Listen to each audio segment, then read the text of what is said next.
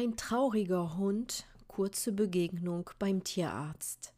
Im Warteraum eines Tierarztes begegnete mir ein süßer, aber trauriger Yorkie mittlerer Größe. Der Raum war voll mit zwei großen und drei kleineren Hunden sowie einigen Katzen. Der kleine Max, wie er gerufen wurde, war total verängstigt, zitterte, hechelte und weinte. Ich liebe Tiere, unter anderem, weil ich sie immer gut verstehe, im Gegensatz zu Menschen. Das gebe ich ehrlich zu, Menschen verstehe ich oft nicht, so wie heute. Der arme Kleine hatte Angst. Er war total gestresst, wurde aber komplett von seinen Menschen ignoriert. Zwei Frauen und zwei Kinder schenkten ihm überhaupt keine Aufmerksamkeit und schoben ihn immer wieder beiseite. Nur wenn der kleine Max an den Beinen leicht kratzte, um hochgenommen zu werden, oder lauter fiebte, wurde er grob zur Seite gestoßen und musste auf den kalten Fliesen immer wieder Platz machen. Die zwei Frauen sprachen und befassten sich nur mit den Kindern und noch mehr mit ihren Smartphones. Sie bemerkten nicht mal, dass er sich in seiner Leine verheddert hatte und eine Zeit lang mit erhobener Vorderpfote stand bzw. humpelte.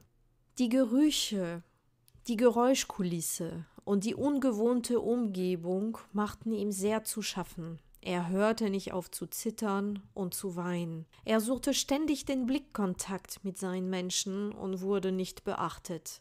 Aus lauter Verzweiflung sprang er irgendwann auf den Schoß des einen Kindes. Er schaffte es nicht ganz und knallte seitwärts auf die Fliesen. Daraufhin ruckte einer der Frauen unsanft an der Leine und zischte ein scharfes Platz.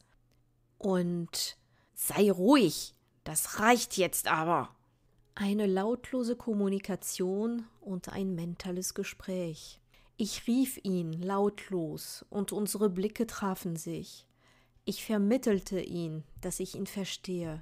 Ich erklärte ihm, dass Menschen oft mit ihren Gedanken ganz woanders sind und Dinge nicht wahrnehmen. Es entwickelte sich ein kurzes mentales Gespräch zwischen uns. Zuerst staunte er, dass ein Mensch auf diese Art und Weise mit ihm kommunizierte und ihn auch verstand, denn egal was er versuchte, seine Menschen verstanden ihn nie.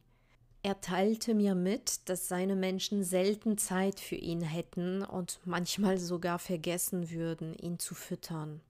Selbst sein langes Haar wurde geschoren, damit keine Fellpflege mehr nötig sei.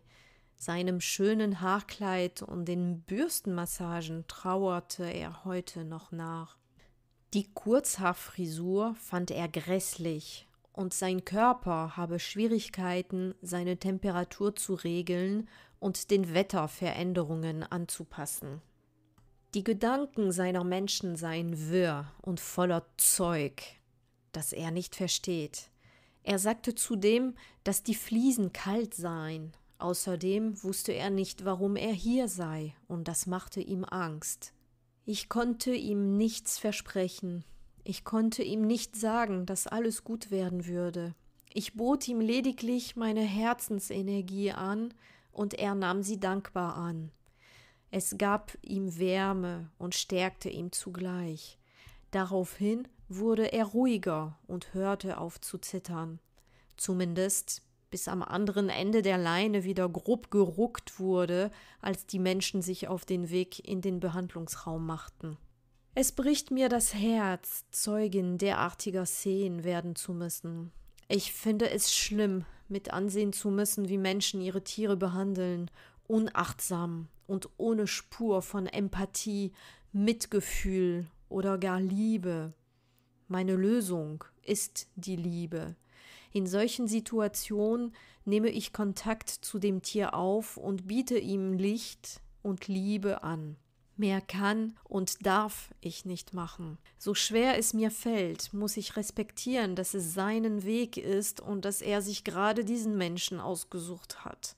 Allerdings bin ich immer sehr glücklich, wenn mir die Tierkommunikation so schnell und so einfach hilft, eine solche Situation ein kleines bisschen erträglicher für ein Tier zu machen.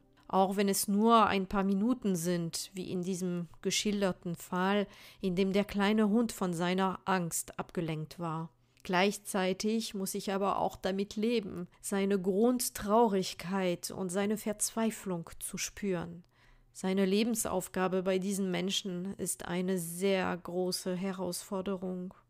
Was würde dein Tier denn sagen, wenn du das wissen möchtest und deinem Liebling die Möglichkeit geben möchtest, sich auszusprechen, dann schicke mir eine E-Mail an info@tierstimmung.de. Ich freue mich auf dich und dein Tier. Und wenn du magst, schreib mir doch in die Kommentare hier direkt darunter, ob du eine solche Begegnung hattest, ob dir schon so etwas aufgefallen ist. Das würde mich interessieren. Ich danke dir